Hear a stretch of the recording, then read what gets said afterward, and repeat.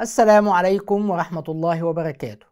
مستمرين في الحديث عن سيرة الأنبياء عليهم السلام. في برنامجكم الأنبياء كأنك تراهم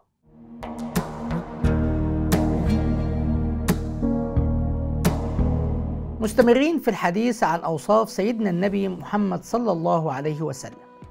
النهاردة هنتكلم عن وجهه الشريف. كان صلى الله عليه وسلم أبلج الوجه. قالت أم معبد الخزاعية رأيت رجلا ظاهر الوضاء أبلج الوجه. كان وجهه صلى الله عليه وسلم مستدير وكان حسن الوجه. مع أن أنس رضي الله عنه قال كان النبي صلى الله عليه وسلم ضخم اليدين والقدمين حسن الوجه. صلى الله عليه وسلم.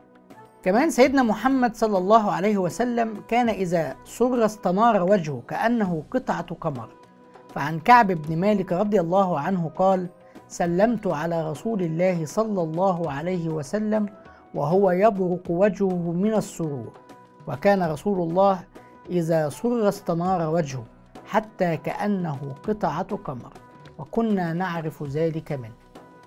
كمان صلى الله عليه وسلم كان ضريع الفم. ضريع الفم يعني عظيم الفم. كمان كان أشكل العين يعني طويل شق العين. صلى الله عليه وسلم. اشوفكم بكرة. انتظرونا.